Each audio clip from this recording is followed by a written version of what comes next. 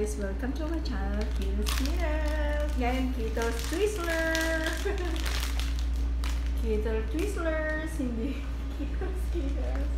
Okay guys, so pumunta ako ng Walmart kahapon. Then, nag-sell ako may meron silang limited edition na Twizzlers.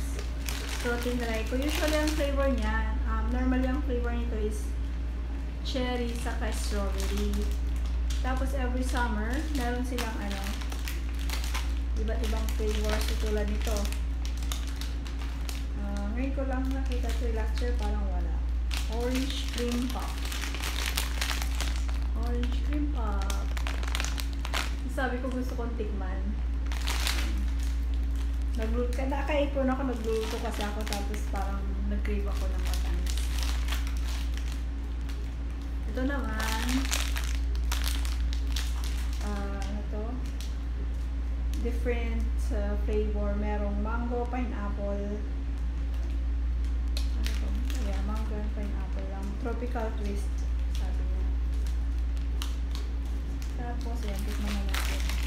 Ito ang gusto ko lang tikman. May feeling siya sa loob. Ayun, no? Yun. Gusto mong tikman? Bakit nag-diet ka? Guys, tara! Tignan natin.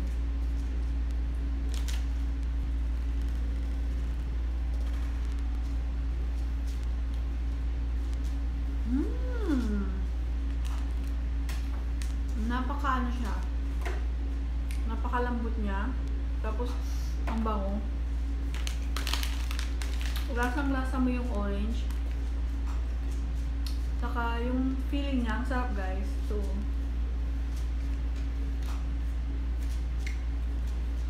Mmm, sarap!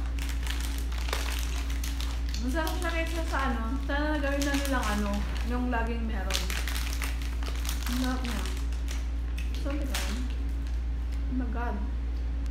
Mmm, I love it. Ako, sugar na naman to guys. Sugar na naman. Ito, try natin ito.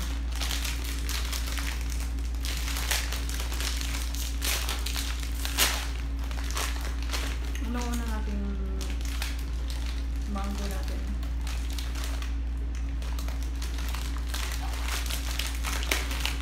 Unahin natin to. Ah, mango. Mango flavor.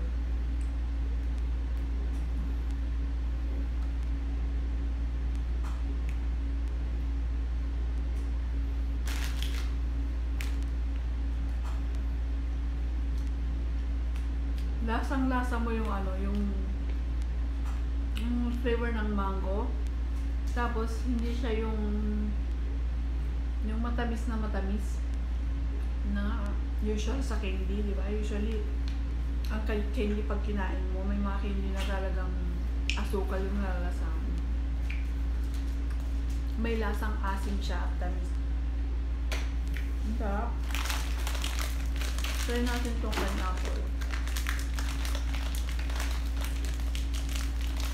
Puno na naman ako ng sugar sa katawan. Mmm.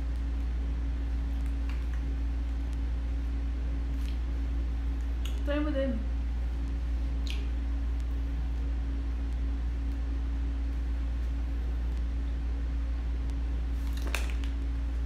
Oh my God. Hindi ako makapamili. Lahat sila favorite ko. Mm, sarap lahat. Try mo. Guys, masarap ang pineapple saka itong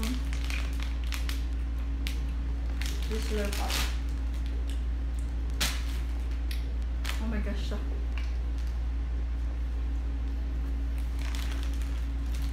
So, pareho silang may ano, may feeling sa loob. Yun. Ang sarap.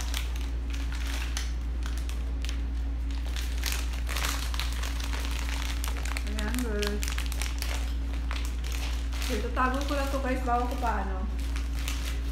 Bago ko pa maubos lahat. So, ayan. Kung meron kayong makitang ganito